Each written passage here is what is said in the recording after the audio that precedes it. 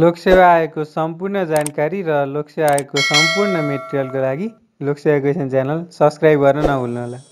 साथीहरू लोकसेवा क्वेसन च्यानलमा यहाँहरूलाई स्वागत छ।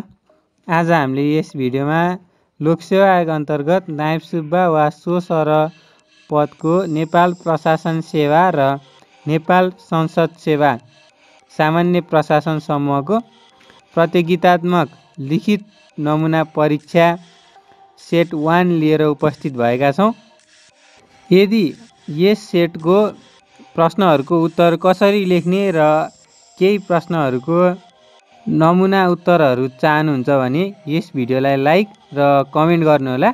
यदि धेरैभन्दा धेरै लाइक र पोजिटिभ कमेन्टहरू आयो भने हामी छिट्टै नै यसको उत्तरहरू लेख्ने तरिका र केही प्रश्नहरूको उत्तरहरूको डेमो पनि लिएर उपस्थित हुने नै छौँ। भन्दै अब प्रश्नहरूतर्फ लागौँ। खण्ड ए कार्यालय सञ्चालन र सङ्गठनात्मक व्यवहार। साथीहरू यस खण्डमा विभिन्न पाँचवटा पाँच अङ्कभारका क्वेसनहरू रहेका छन् भने एउटा दस अङ्कभारको क्वेसन रहनेछ। र पहिलो प्रश्न रहेको छ दर्ता र चलानीको महत्त्व दर्शाउनुहोस्। कार्यालय कार्यविधिमा दर्ता र चलानी नगर्दा के कस्तो प्रभाव पर्छ? प्रश्न नम्बर दुई माग फारम भनेको के हो? यसको नमुना बनाउनुहोस्।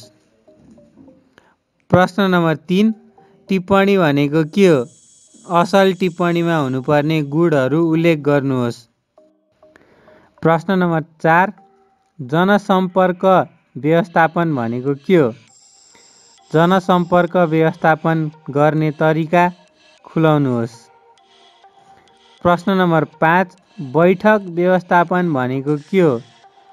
यसको भूमिका उल्लेख गर्नुहोस्। अब भने साथीहरू यस खण्डको दस अङ्कभार रहेको प्रश्नतर्फ लागौँ। प्रश्न नम्बर छ प्रशासकीय कार्य फरछ्यौट भनेको के हो? नेपालमा यस सम्बन्धी के कस्ता व्यवस्थाहरू रहेका छन्? उल्लेख गर्नुहोस्। खण्ड बी प्रशासन तथा व्यवस्थापन। साथीहरू यस खण्डमा विभिन्न पाँचवटा प्रश्नको अङ्कभार पाँच रहनेछ भने एउटा प्रश्नको अङ्कभार दस रहनेछ। अब भने साथीहरू यस खण्डको प्रश्नहरूतर्फ लागौँ। प्रश्न नम्बर सात सार्वजनिक प्रशासनको परिचय दिँदै यसको उद्देश्यहरू लेख्नुहोस्। प्रश्न नम्बर आठ सार्वजनिक प्रशासन र विकास प्रशासन बिच भिन्नता छुट्याउनुहोस्। प्रश्न नम्बर नौ निजामती कर्मचारीले कति प्रकारका बिदा पाउँछन्? उल्लेख गर्नुहोस्। प्रश्न नम्बर दस छोटो टिप्पणी लेख्नुहोस् र यहाँ कमा लोकसेवा आयोग र खमा महालेखा परीक्षाको कार्यालयको छोटो टिप्पणी लेख्नु भनेको छ। त्यसै गरी प्रश्न नम्बर एघारमा नेतृत्व भनेको के हो? नेतृत्वका कार्यहरू उल्लेख गर्नुहोस् भनेको छ।